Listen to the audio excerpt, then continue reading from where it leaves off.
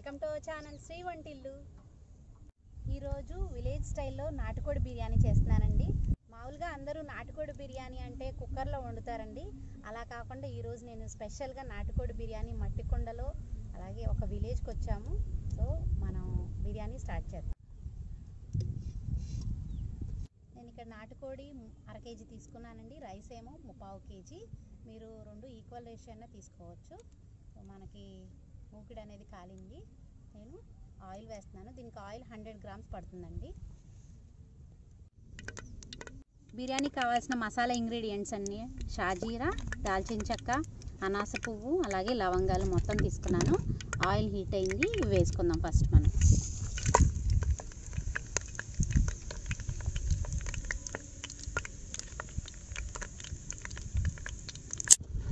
Masala ingredients అన్నీ బాగా fry అయినాయండి.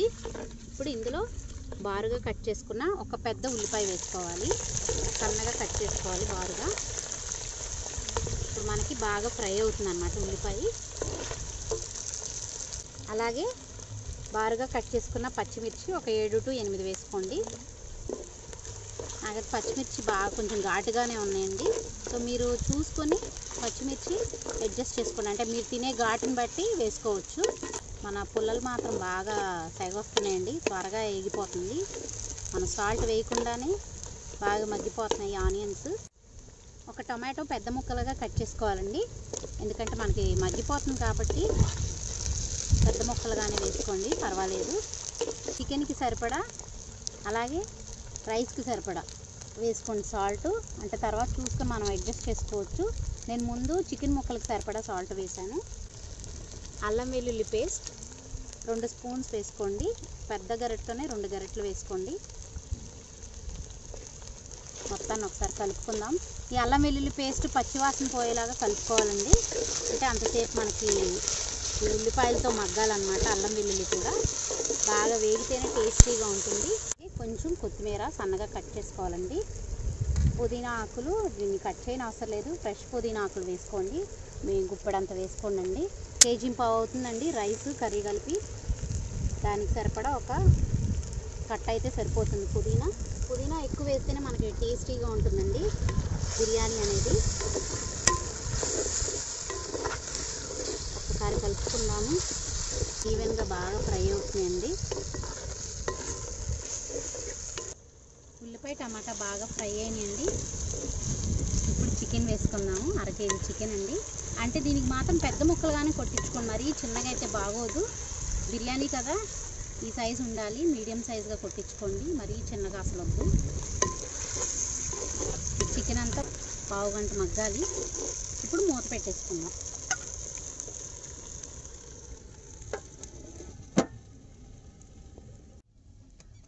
ఇప్పుడు పెరుగు వేసుకోవాలండి.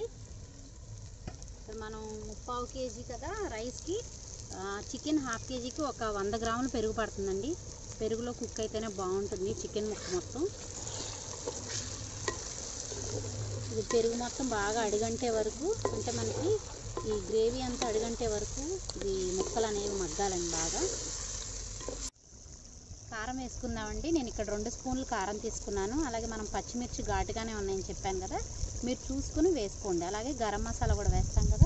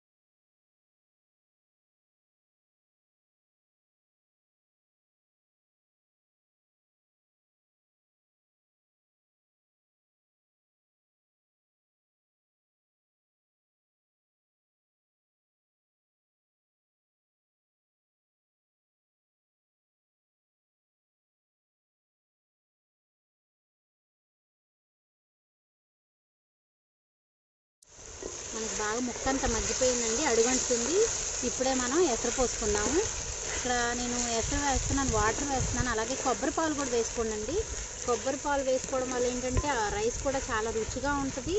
అలాగే మనకి నాటుకోడి కొంచెం ఉడకడానికి టైం పడుతుంది కాబట్టి కొబ్బరి పాలు వేస్తే త్వరగా బాగా ఉడుకుతుంది అనమాట మొత్తం బాగా మంచిగా కుక్ అవుతుంది. సో రైస్ కూడా చాలా టేస్టీగా ఉంటుంది.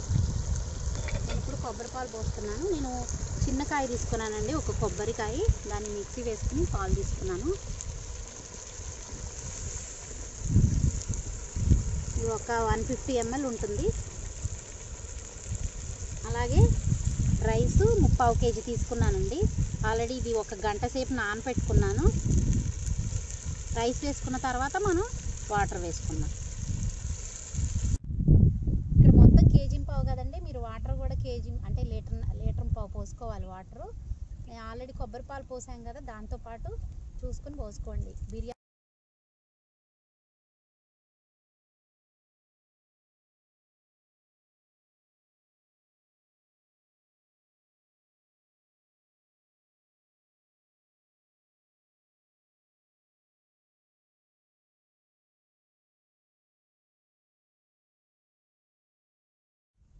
వాటర్ పోసుకున్నాం కదండి. ఇలా ఇరవై నిమిషాలు మనకి ఉడకాలన్నమాట అన్నమును కూర కూడా.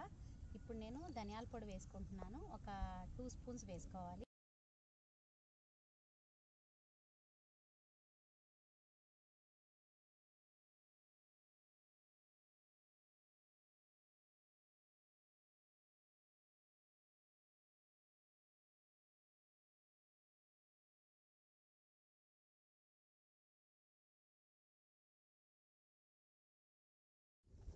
రెండు స్పూన్లు గరం మసాలా వేసుకోవాలండి.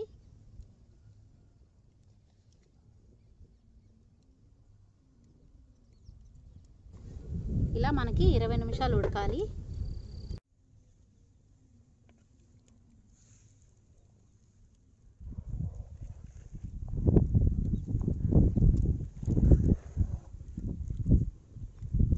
ఇప్పుడు మూత పెట్టేసుకుని ఇరవై నిమిషాలు ఉడకాలండి. బిర్యానీ రెడీ అయిపోయిందండి. ఒకసారి చూద్దాము. చూసారుగా ఎంత బాగా ఉడికిందో మనకి రైస్ అంతా బాగా ఉడికిపోయి అలా పైకి లేచిన రైస్ అంతా మనకి. సో ఇప్పుడు మనం తిప్పి చూద్దాం. అంటే ముక్క ఎంత బాగా కుక్ అయిందో ఒకసారి అడుగు నుంచి తీసుకోవాలండి. ఎంత బాగా కుక్ అయిందో ఒకసారి చూద్దాము. చూసారుగా ముక్క? చాలా వేడిగా ఉందండి అరోమా అయితే చాలా బాగుంది